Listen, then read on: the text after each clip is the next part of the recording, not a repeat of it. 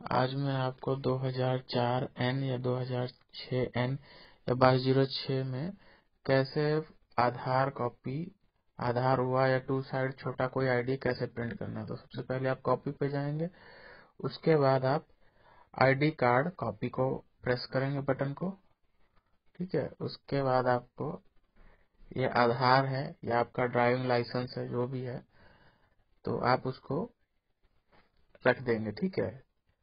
देख लीजिए कैसे रखना है। एक साइड आप रख दीजिए और वीडियो आप पूरा देखिए तो आपको प्रॉपर समझ में आ जाएगा कि कैसे एक ही पेज पे दोनों आ जाएगा, ठीक है?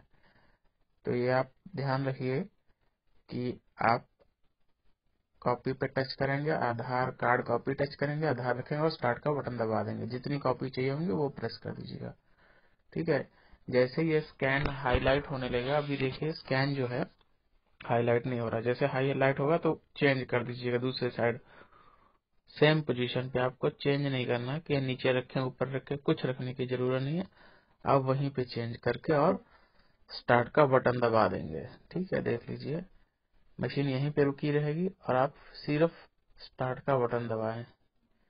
ठीक है, इसके बाद वो दूसरी साइड को स्कैन करके और आपकी कॉपी निकाल देगा। ये देखिए, कॉपी आ रही है हमारी।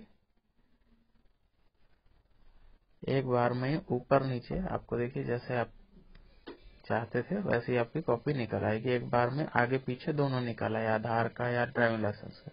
तो इस तरह आप आधार का फोटोकॉपी 2004 एन बाईस ज़ीरो छह एन 2006 एन इसमें से में निकाल सकते हैं, ठीक है? फिर भी आप कुछ ना समझ पाए तो कमेंट करें, ठीक है? Okay bye thank you